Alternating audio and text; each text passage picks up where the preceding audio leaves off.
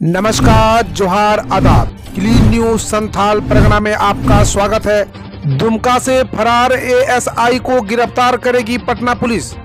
पाँच साल पूर्व पटना के एसके पुरी थाना इलाके से चोरी की बुलेट बाइक दुमका से बरामद होने की सूचना मिलने के बाद एसके पुरी थाना के एसआई प्रमोद कुमार सिंह और गाड़ी मालिक दिवाकर कुमार शनिवार को मुफसिल थाना पहुँचे, जहाँ गाड़ी मालिक ने गाड़ी की पहचान की और थाना प्रभारी नवल किशोर सिंह को गाड़ी चोरी पूरी जानकारी दी। आवश्यक प्रक्रिया पूरी करने के बाद बाइक को पटना पुलिस को सुपुर्द कर दिया गया। इसके बाद गाड़ी मालिक और एएसआई दोनों गाड़ी लेकर पटना के लिए निकल गए। वहीं फरार एएसआई अखलाक खान की गिरफ्तारी के लिए दोनों थाना की पुलिस संयुक्त रूप से आगे की कार्रवाई करेगी। दस लाख का इनामी नक्सली जोनल कमांडर सुधीर किसको गिरफ़्तार? नक्सलियों के विरुद्ध दुमका में चलाए गए ऑपरेशन में पुलिस को बड़ी सफलता मिली है। पाकुड़ एसपी अमरजीत बलिहार की हत्या में शामिल। 10 लाख का इनामी नक्सली सुधीर कुमार गिरफ़्तार हो गया है। ताला दाके मारे जाने के बाद सुधीर किस्कू संथाल प्रगना में भाकपा माओवादी संगठन को जोनल कमांडर की हैसियत से नक्सली संगठन को लीड कर रहा था। पुलिस ने सुधीर किस्कू की गिरफ्तारी की अभी पुष्टि नहीं की है। नक्सलियों के विरुद्ध दुमका में दुमका एवं गिरिडीह की पुलिस और एसएसबी के द्वारा संयुक्त रूप से ऑपरेशन चलाया जा रहा है। दुमका जिला प्रशासन ने असहाय वृद्ध एवं जरूरतमंदों के बीच कम्बल का वितरण किया। झारखंड के दुमका जिला प्रशासन ने गरीब, असहाय, वृद्ध लोगों के दुख, दर्द को दूर करने के लिए अब गाँवों का रुख किया है। उपायुक्त राजेश्वरी बी ने शनिवार को मछलिया प्रखंड क्षेत्र में रंगा पंचायत का भ्रमण किया और गरीब, असहाय एवं वृद्ध लोगों से मिलकर उनका हालचाल जाना। उन्होंने इलाके में संचालित विभिन्न कल्याणकारी योजनाओं का भी निरीक्षण किया। भ्रमण के दौरान उन्होंने मनरेगा, प्रधानमंत्री आवास एवं अन्य योजनाओं के तहत कार्यान्वित योजना को गुणवत्ता को लेकर अधिकारियों को कई निर्देश दिए गए। खबर अब गोड्डा से। सैलानियों को लुभाता पथरगामा के योगनी मंदिर व धनसुखा पहाड़।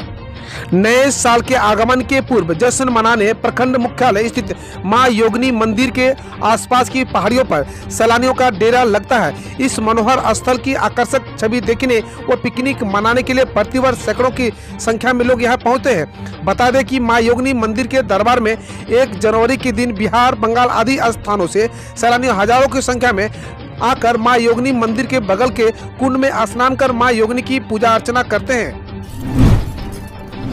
पेशेवर अपराधी ने की थी हाईवा चालक की हत्या।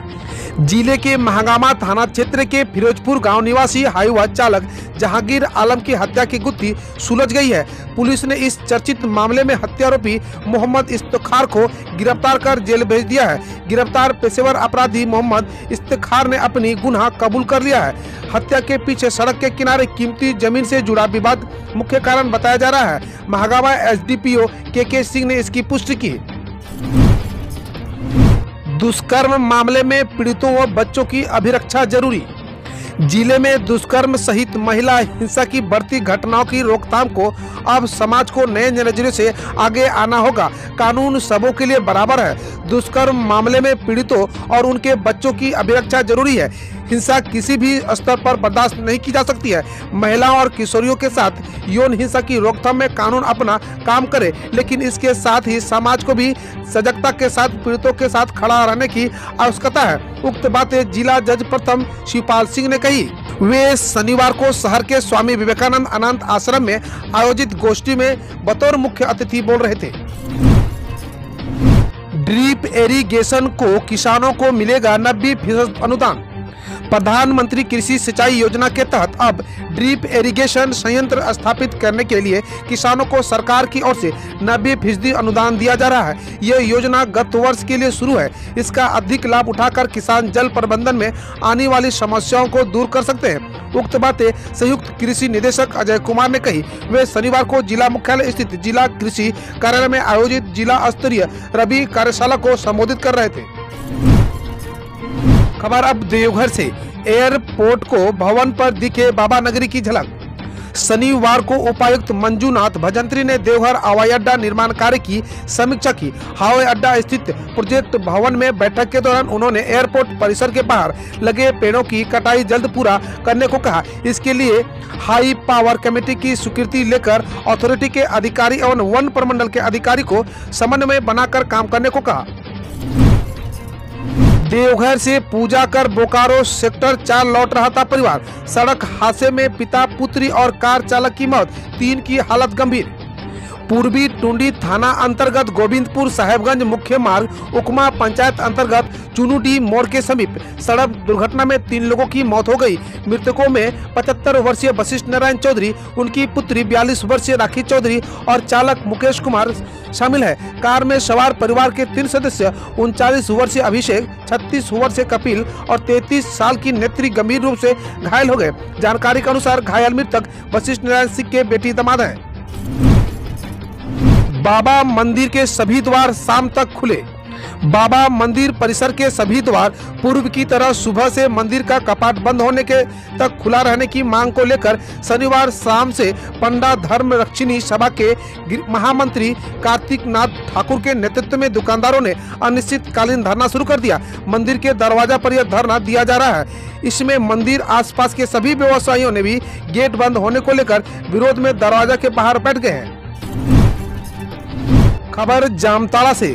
दो दिवसीय वुसु मार्शल आर्ट आत्मरक्षा प्रशिक्षण शिविर का हुआ आयोजन। जामताड़ा जिला वुसु एसोसिएशन के तत्वाधान में संत अंथोनी स्कूल में दो दिवसीय वुसु खेल व आत्मरक्षा का कला कौशल प्रशिक्षण शिविर का आयोजन किया गया। ज़िले में अपनी तरह का यह पहला आयोजन था। ज़िले के 60 बच्चे इसे प्रशिक्षण ले रहे हैं। प्रशिक्षण शिविर का शुभारंभ अनुमंडल पदाधिकारी संजय पांडे, विशिष्ट अतिथि जामताड़ा जिला ओलंपिक संघ के उपाध्यक्ष डीडी भंडारी, जामताड़ा जिला खेल मंच के सचिव दीपक दुबे, इला फाउंडेशन के chairman doctor P K Sarkhel, Jamtara voluntary volunteer association के सचिव अरूप मिश्रा, जामताड़ा जिला बुसु एसोसिएशन के संरक्षक डॉक्टर अंचल भंडारी अध्यक्ष मजाली शामिल थे। एक महीने में बैटरी चोरी की तीन घटनाएँ। किसी में कार्रवाई नहीं। जामताड़ा से देवघर व दुमका तक बैटरी चोरों ने अपनी सक्रियता बढ़ा दी है। इस महीने में मोबाइल टावर से चोरी की तीन घटनाएँ हुई, लेकिन किसी भी मामले में पुलिस कार्रवाई नहीं कर सकी। अपराधी एयरटेल, एटीसी आदि निजी कंपनियों के टावर को एक के बाद एक करके निशाना बना रहे हैं। खबर पाकुड़ से। प्रशांत के साथ 10 लाख का इनामी सुधीर भी पुलिस की गिरफ़्तार में। ताबड़तोड़ कार्रवाई से नक्सली सख्त में। पाकुड़ के तत्कालीन एसपी अमरजीत बालियार की हत्या में शामिल माओवादी लीडर सुधीर किसू को दबोचने में गिरिडीह पुलिस को कामयाबी मिली। सुधीर पर भी 10 लाख का इनाम है। संथाल परगना में लाल सलाम का नारा लगाने वाला दस लाख का इनामी प्रशांत माझी व उनकी पत्नी प्रभा दी उप जया को भी पकड़ने में पुलिस कामयाब रही है। प्रशांत एवं सुधीर की निशानदाही पर गिरिडीह से एक सैतालीस एवं कार्बाइन की बरामदी हुई है। दस दस लाख रुपए के दो नामी नक्सलियों की गिरफ्तारी में नक्सली सख्त में है। सरकार की पहली वर्षगांठ पर होंगे कई कार्यक्रम। अपने कार्यालय कक्ष में उपायुक्त कुलदीप चौधरी ने शनिवार को राज्य सरकार की पहली वर्षगांठ पर 29 दिसंबर को आयोजित होने वाले कार्यक्रम की तैयारी की समीक्षा की। उपायुक्त ने अधिकारियों को सौंपे गए कार्य एवं अब तक की हुई तैयारी की जानकारी ली। शराब बेचने वालों के खिलाफ महिलाओं ने खोला मोर्चा। गोपीनाथपुर गाँव की महिलाओं ने शराब बेचने वालों के खिलाफ मोर्चा खोल दिया है। आक्रोशित महिलाओं ने स्कूल के समीप अवैध तरीके शराब बेचने वाले तपन राजवंशी को पकड़कर घंटों बंधक बनाए रखा। गाँव की महिला सांतवा मंडल, चंदना मंडल सहित अन्य महिलाओं ने बताया कि उत्क्रमित उच्च विद्यालय गोपीनाथ नागपुर के समीप विगत कई महीनों से तपन राजवंशी अपने घर में अवैध ढंग से शराब बेच रहा है। इससे स्कूल के बच्चों पर बुरा असर पड़ रहा है। शराबियों के डर से अभिभावक छात्र को स्कूल नहीं भेज रहे हैं। हम रोज ऐसे ही न्यूज़ लाते रहेंगे। तो यदि आपने अभी तक क्लीन न्यूज़ को सब्सक्राइब नहीं किया है तो पहले फटाफट सब्सक्राइब कर लें। साथ ही बेल आइकन को दबा दें, ताकि कोई अपडेट मिस ना हो।